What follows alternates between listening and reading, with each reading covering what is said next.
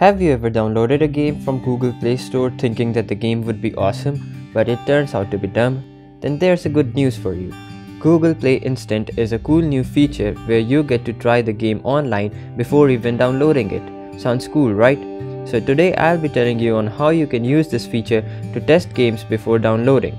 So stick to this video till the end and also subscribe to my channel because I bring a lot more unique videos like this just for you guys so that you get to learn something new and useful with each of my videos.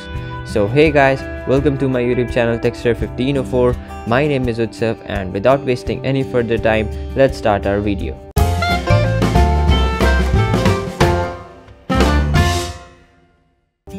So yesterday I was scrolling through the Play Store looking out for something new where I noticed an app with the try now button just beside the install button. Since I've never seen anything like that before, I started to dig deeper into it. Then I came to know that a few months back, Google came with this idea of making it possible to try the game online before even installing it, which they called Google Play Instant. At that time, there were only a handful of games which supported this feature, but now the catalog has expanded quite a lot and new games are added on a regular basis. Since you now know what this feature is, now let me tell you how you can find the apps or games which support this feature. What you need to do in order to get the list of supported games, just go to the link down in the description box below and it will automatically take you to the Play Store with the compatible apps listed like this. Here you can tap on any of the games and rather than hitting the install button, hit the try now button. Now before you hit the try now button, it needs to be clear that since the game is going to run online, you're gonna need a proper internet connection for smoother gameplay. Now once you make sure of that, you can hit the try now button in order to start the game. Here's a bit of gameplay for one of the games so that you get the complete idea of how it works and how much time it takes to load the game.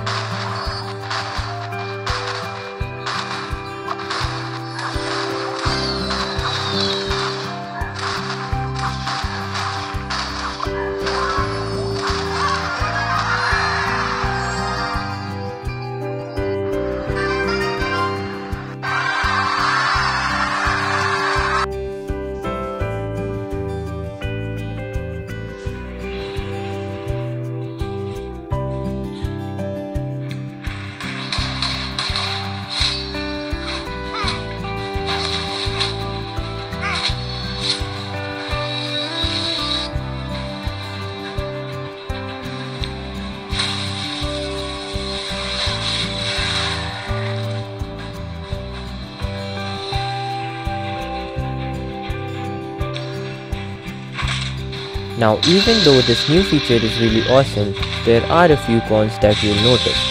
First of them is that even though you get several cool games like Final Fantasy 15, Clash Royale and The Walking Dead that supports this feature, the list is pretty small as compared to the total number of games available on the Play Store. And second is that you cannot infinitely long play a game using this feature as some of the games like Clash Royale prompt you to install the game after you complete the first level. But these cons doesn't mean that this is not a good feature.